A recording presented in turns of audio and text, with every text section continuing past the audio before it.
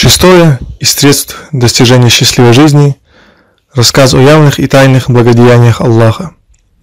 Поистине, когда раб Аллаха вспоминает о бесчисленных благах Всевышнего и рассказывает о них, печаль и грусть рассеиваются, и он переполняется чувством благодарности, даже если человек в нищете или страдает какой-то болезнью, или испытан нечто иным, ему достаточно сопоставить безграничные милости Аллаха и его неисчислимые щедроты с тем, что его постигло, и станет очевидным, что несчастье, выпавшее на его долю, никак не сравнятся с тем, что ему даровано Всевышним. Более того, если раб смирится перед Господом, проявит терпение и довольство, то это не только облегчит тяготы, но и обеспечит ему великую награду за проявление терпения.